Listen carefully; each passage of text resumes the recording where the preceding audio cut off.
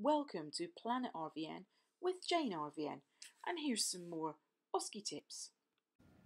Hi everyone, here's some lovely tubes. And if you're asked to prepare an ET tube, there's a couple of things you need to do. You need to have a visual check. Are there any cracks? Are there any breaks? Is it fitting nicely onto the connector?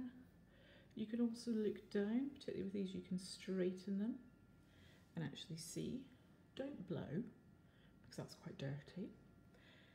You may well also want to use something like a clean brush, a dry brush. I'm just going to make that clear. If you get this in your exam, you may well get a stylet or a brush to put down so that you can check that it is patent. Clearly in the larger ones, and if they're see-through, it's easier to look, but you can also pass a clean dry brush, not something that's been got the bacteria of a thousand throats on it. And then you want to check your cuff. So you will be given a cuff inflator, they're not that mean. Using your syringe, you want to gently fill the cuff and beware not to overinflate. One, because that's obviously not good practice, but two, the tube has to be left ready for you, so you're going to want to take the air out and if you don't get one of these snazzy ended ones, you can just fold the tube over to hold the air in. So you put the air in, fold it over, and it will hold the air. Take care you don't have to hugely overinflate because we know there's problems with that and bear in mind in the exam that you'll have tight time.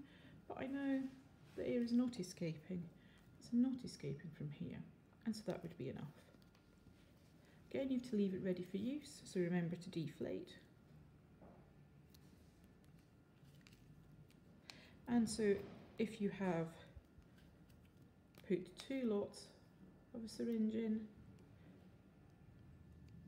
check that you take two lots out. But bear in mind if you're asked to select an ET tube, if it was say for a five kilo cat, it's likely you, you would get tubes of this much variance because they're not trying to catch you out.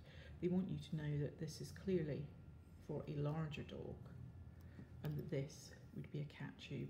And don't worry too much about whether it's quite long because you're not placing it to the patient and you've already shown in theory that you would know that potentially you would cut this down. Thanks for watching. Thanks for watching.